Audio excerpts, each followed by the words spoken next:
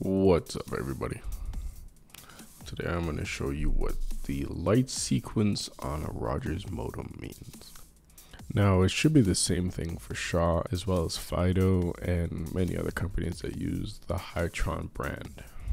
First thing I'm going to do is undo the coax here and then you're going to see the modem try to receive the data.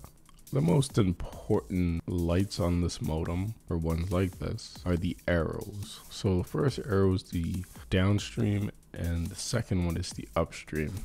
If the downstream is just flashing by itself, it's looking for data. Now, once it receives the data, it will go solid and then it will send the data back to the internet provider. Now that's the point of the upstream.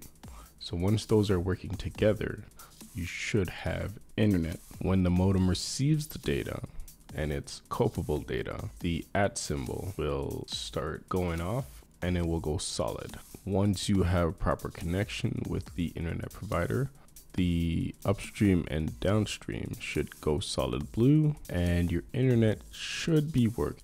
If you followed all the steps and your service is still not working, chances are you have bad connection or the wrong one in your house.